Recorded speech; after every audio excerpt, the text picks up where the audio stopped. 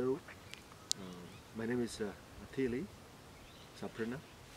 I'm from Nagaland and I'm here to extend my solidarity to uh, people in West Papua, the Papuans. And I'm privileged to be wearing this shirt because me and my people believe that human rights abuse, uh, suppression of people's rights self-determination. Uh, is, is a concern for all. And uh, it also uh, emerges because uh, as a Naga we have faced uh, uh, military political suppression. And this flag the Naga flag um, allows us to um, articulate dream for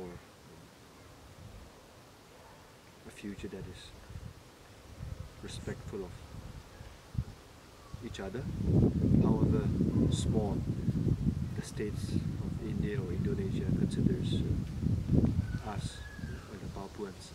And today I stand here to